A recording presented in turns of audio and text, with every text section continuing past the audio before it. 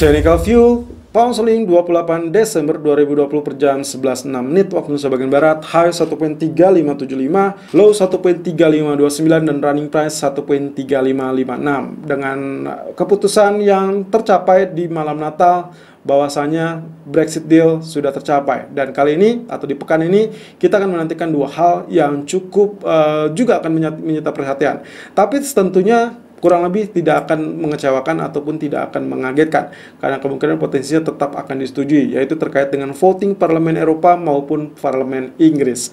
Well, apa pun hasilnya sudah terjebak bahwasanya kemungkinan mereka akan setujui terlebih dahulu dikarenakan waktunya sangat mendesak dengan target ekstra atau deadline di tanggal 31 Desember 2020. Kita akan lihat potensi pergerakan untuk hari ini kalau kita lihat dari candlestick di hari ya ini kurang lebih tanggal 24 Desember yang lalu maka kemungkinan potensinya adalah shooting star yang berarti mirip dengan apa yang terjadi ini bisa saja menjadi area reversal dan ini menandakan adalah gangguan terhadap faktor bullish. Sementara area high yang sempat tercipta di tanggal 17 Desember adalah 1.3623 dan di tanggal 24 Desember adalah 1.3618 jadi kemungkinan area resisten tersebut akan tetap menjadi batu sandungan.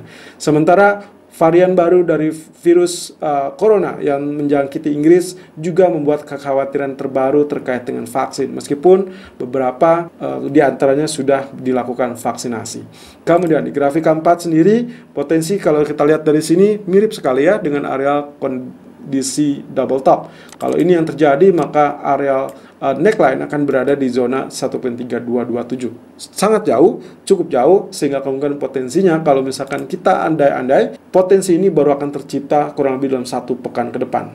Well, of course, itu pun kalau misalkan ternyata penurunan tidak terlampau cepat. Nah, tapi secara normal, secara target pendek, kalau kita lihat ada zonasi uh, 1.3535 di mana ini adalah zona uh, historical price. Jadi kemungkinan kalaupun kita asumsikan penurunan adalah area koreksi, maka itu bisa dimanfaatkan sebagai area buy on dip Anda. Silakan lakukan buy on dip 1.3535 ataupun 1.3545. Target pertama adalah 1.3585 dan target kedua adalah 1.3635. Stop loss silakan gunakan 1.3470. Selalu gunakan stop loss dan risk management sesuai dengan equity dan strategi trading Anda.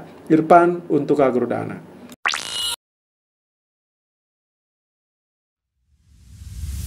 Technical View Euro USD 28 Desember 2020 per jam 11.10 menit waktu sebagian barat high 1.2215 dan low 1.2180 running price 1.2209 kembali dengan areal support line atau trend line biru yang juga memberikan warna tersendiri di mana area penurunan beberapa waktu lalu ternyata masih dalam koridor yang cukup normal sehingga kemungkinan potensi ini masih bisa kita harapkan area kenaikan lanjutan Apalagi kalau lihat dari berita uh, terkait dengan Brexit yang sudah capai kesepakatan seharusnya juga akan mendorong uh, euro untuk meraih areal rally kembali. Dan areal tertinggi yang pernah tercipta kurang lebih dalam uh, beberapa waktu yang lalu 17 Desember tepatnya di 1.2271. Saya rasa bukan mustahil hari ini pun bisa saja tercapai meskipun dengan catatan data ekonomi relatif sepi apalagi pekan ini yang hanya kita perhatikan adalah zona uh, Jerman dengan retail sales yang akan dirilis di pekan ini. Tapi untuk hari ini sama sekali tidak ada berita yang sangat-sangat menegangkan sehingga kemungkinan potensinya adalah euforia terkait berita Brexit Brexit maupun penanganan stimulus oleh Donald Trump.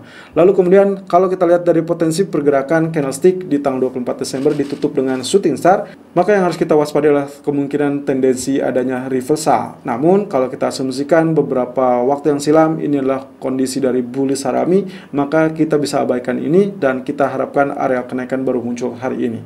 Kemudian jangan lupakan Elliott Wave, Elliott Wave untuk wave kelima 1 2 3 4 5. Jadi kemungkinan potensi ini masih tetap berjalan sesuai dengan koridornya. Target utama kita adalah 1.2485 yang bisa saja tercapai dalam waktu satu bulan ke depan. Kemudian kalau kita lihat dari grafik H4, maka kemungkinan potensi triangle akan ditembus untuk hari ini. Zonasi yang harus ditembus adalah 1.2220, jadi kemungkinan ini hanya tinggal beberapa waktu ke depan.